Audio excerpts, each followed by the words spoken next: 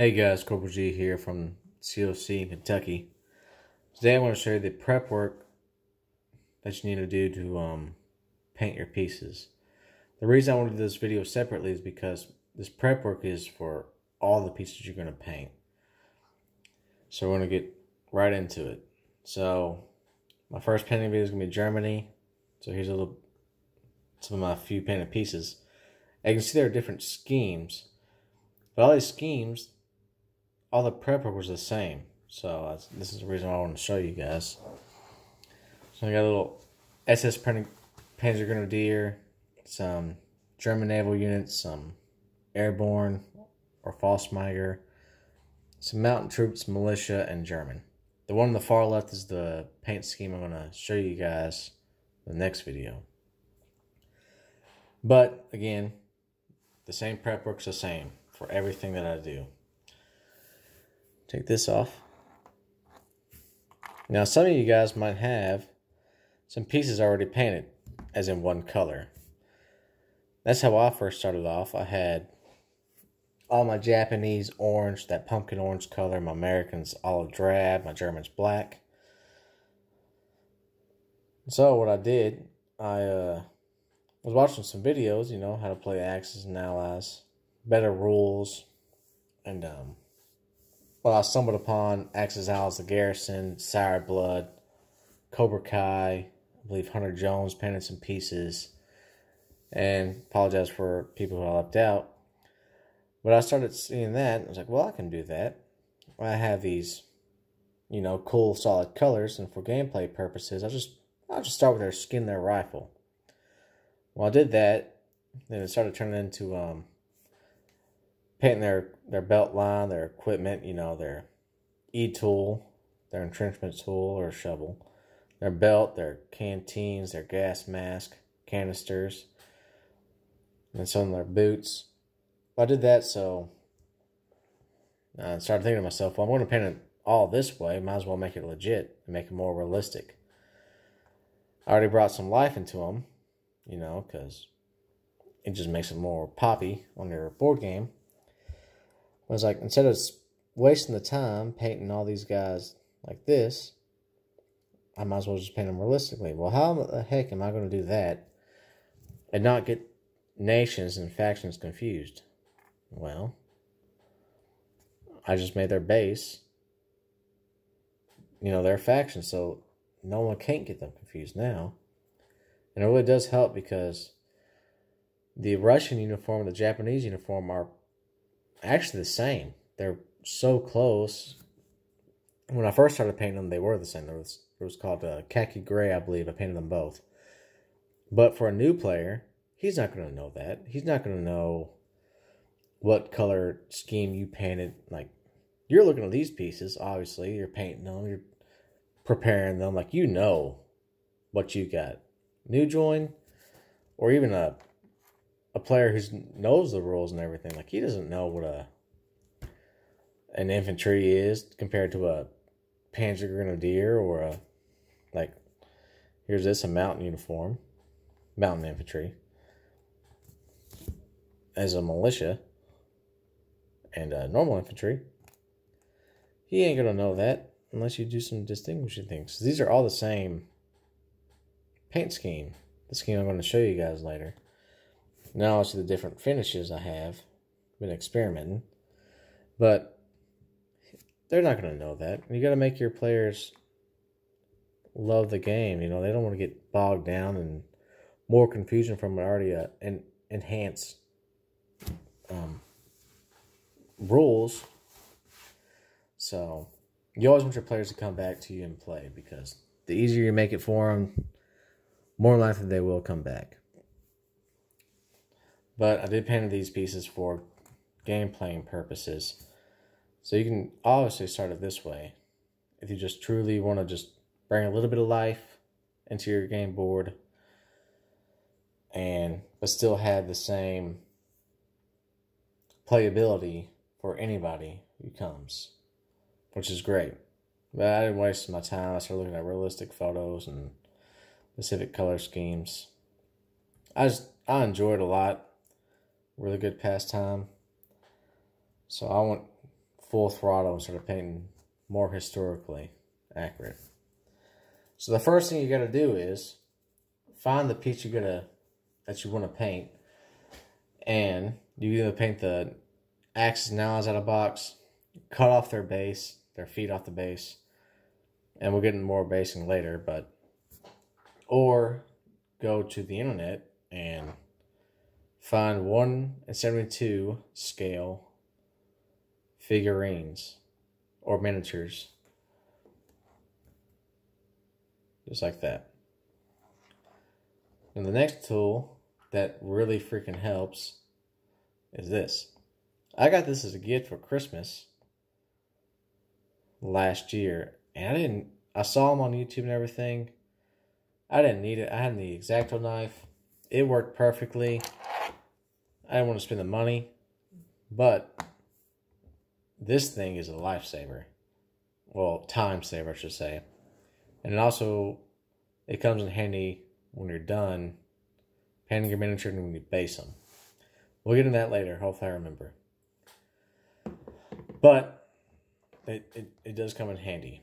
So you're going to pick out your pieces, and usually I do groups 10 now. But at the beginning, I was painting for Axis and Allies 1940. I was painting 40 infantry for each nation. Italy and Anzac only painted 25. But I forgot what I was going with there. So just get a group of 10 and uh, pick them out. Now, don't worry about that little pin nail on the bottom right now. The first thing you got to worry about is when you prep your units after you cut them out is that, see that line right there from the mold? That's called a flash. Well, that's called flash. Now, what you got to do is you you can ignore it. Don't worry about it. That makes your pieces a little bit better. Take an X-Acto knife, just take that blade and just scrape it. You can use a sanding tool or a sanding pencil. That'll help out, but X-Acto knife is going to do the job. The next thing you're going to do is to wash your piece. The reason you got to wash your piece is when these um, miniatures come out of the mold, they have this thing called a mold release, and they always use it because they don't use it, the pieces aren't going to come out. They're going to get stick to the they're going to stick to the mold, ruin the mold. So they put this coating on there, make this piece come out nice and easy. So you do need to wash it. Now I didn't wash all my pieces, and they still turn out fine. There's a lot of guys on YouTube and on the forums who don't wash their pieces. It's a waste of time. But you might as well do it just in case. So after you wash your piece, you need to prepare your basing, which is this little pin nail. And what I got is these little nails. I don't know what they're called. I guess they're called pin nails or sewing nails. That's what they look like.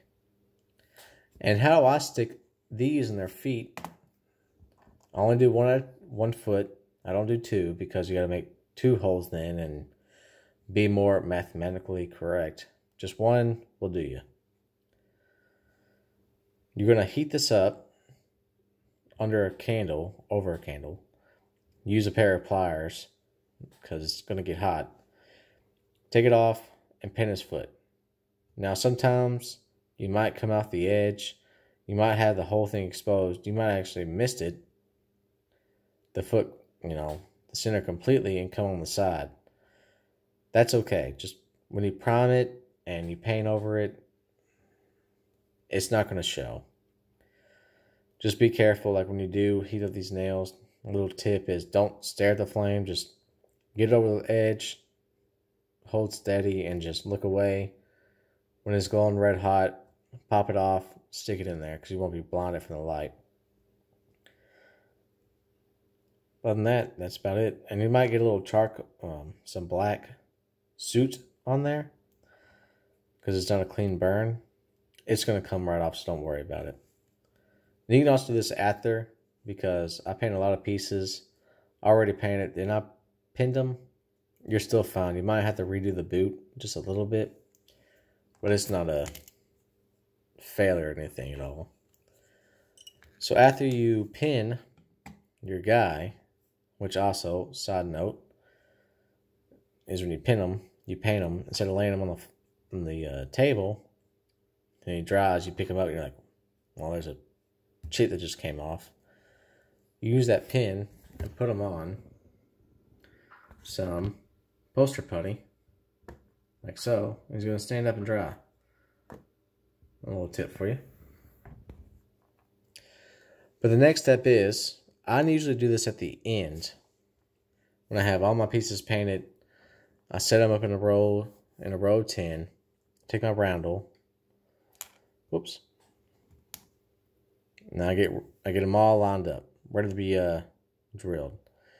Before we get to that step, you gotta tell you what this is. So the black part is just an acrylic disc or a wooden disc, doesn't matter what. You're just gonna lay it on the table, or a piece of cardboard, I should say. Spray paint it to the, you can spray paint them all one color, all gray, whatever you want to do. Doesn't matter.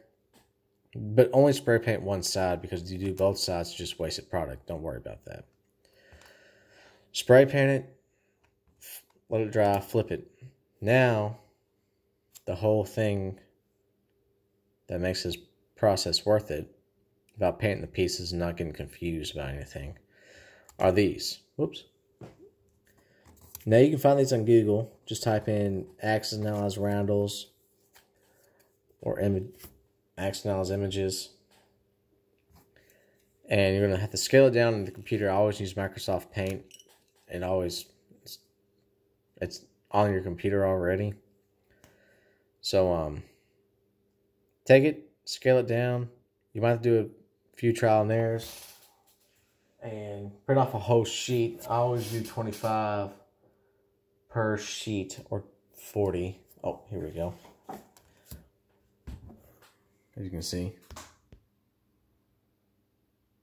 Do that. I cut in strips to make it real easy. Right now, this is just an experimental one, so I cut off three. But, take it. Take your hole punch. This is the one I got off Amazon. It's a half inch hole punch. And all the infantry bases in the original Axis and Allies are half an inch and the chips that we get from Axis and Allies in historical board game, that little inner circle is a half an inch, so it's a perfect fit. It's way better than cutting them out. I ain't gonna cut them out. Never tried, never will. I know my place. There ain't no cutting perfect circles. What you're gonna do is take your hole punch, slide it in there, look at it, get it lined up, pop it out. I ain't gonna do this one because I already got it. But once you pop it out with your roundel or your base, you got to glue this on. And not always use super glue. You can use any type. But I use Gorilla super glue. It's normal. We lay it on there, the gravity kind of takes effect and spreads it out already. Or you can use the gel. I like the gel better because it's oh it's just I like it better for priming or for basing the infantry with that nail. I don't have to worry about dipping in there and running out. I can just scoop it up because it kind of, if you do it right, you can make it stand up, make it real tall. So you're not really scraping, you're not getting paint on his other boot or anything else because it makes it a little easier. So put the glue on the base and put your roundel on top. And that's it. Now, you have all these prep. Now, you're going to paint your piece, prime it over everything. I'm getting this but real quick. You're going to have all your painted pieces here. Just take your roundels or your base, line them up with it.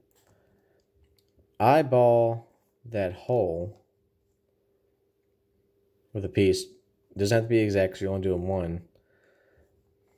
Eyeball it, measure it out if you want to be precise take a Dremel or a press, whatever you want. A Dremel press is way cheaper.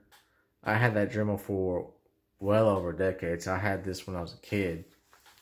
It's actually my dad's. He got a new one, so he let me have this one. I bought the Dremel press for it. Real cheap. I know it's definitely under 100 bucks, but That is expensive, for a little bit, but it ain't too bad. For what it is, it, it helped me out a lot. Got a little cheap block of wood there. So you can use that, drill the hole. You're gonna bring it back over here. Now when you have all your little holes made, lined out, take some glue, scoop up that glue, stick them in there. The reason I do it this way is because originally I just put super glue on the legs. I had to hold it in place. They kept falling over. So I can only do one piece at a time for five minutes, do another one. All my super glue is dried out. Wasted product, right? We don't want that. This way, scoop of the glue, drive them in there, let them sit, go to the next one, go to the next one, go to the next one. Makes it real easy. But this method is pretty steady and secured.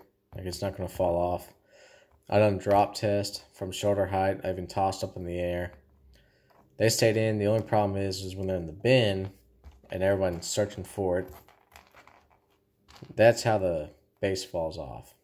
This is a pretty simple way to not make them fall off. Again, don't worry about making two holes. That's just too much. One hole is perfectly fine. But don't glue them on just yet. First, you need to prime this bad boy. Now, I recommend, if you're doing batch painting, just use an aerosol can. But for onesies and twosies, you can do some brush on primer. Then uh, let them dry, and that's the that's where we're going to start the painting process. But other than that, that's it for the prep work. And a little tip to show you guys the uh, next step to start getting ready. Obviously, you need some paint brushes. Go to Walmart, some Hobby Lobby. Just buy the tiny ones, cheap ones. Go need a little cup of water. And the best thing to have is a wet palette. Now, you don't have to buy one of these. You can make one yourself. Now, that paint on the top, kind of nasty looking, it's still wet. All I got to do is take my brush, swirl it around, and it's going to be the color that I originally put on there. It might be more diluted from the water being soaking up into it, but it's going to keep your paint dry. You can have this thing open for hours, and it's not going to dry. Originally, I just used cardboard. Took it straight from the pot from the uh, paint bottles. I didn't draw it out after about 10, 15 minutes of work. So I did little dabs here and there. This made life 10 times easier. Now you can make your own. You don't have to go buy a fancy one, but they're only 10 or $15. They come with the the sponge. And they come with paper too, but that paper is worthless. Don't worry about that. But I'll tell you this and how to make your own real quick. So to make your own, you just take a little Tupperware that you already have, probably in the kitchen. Take some paper towels, fold them up or cut them up, you know, a few layers. Put them in the bin, take some water, soak it all up, pour out the excess, and take some parchment paper. That's what I'm use here, because the other paper is worthless. That comes with the wet palette. Take some parchment paper, lay it across the top. It might roll on you, just you know, take a credit card, pour some water on top of the parchment paper, and that's how you have a wet palette. Now make sure you have the, the top for it. You all know about the containers. You gotta search for two hours for the top for a perfect match. But other than that, that's how you make your own wet palette. And I definitely recommend it. Start off with that, and if you like it, go to Amazon or eBay and buy an official one if you want to. But that's about it for the uh, prep work. Uh, hopefully, you guys get all these things ready for it, and uh, it makes your life 10 times easier. Because when you start painting like this, you will go insane, I feel like. I am, but I do enjoy it a lot. But I got nothing for you guys. That's about it, so see you next time.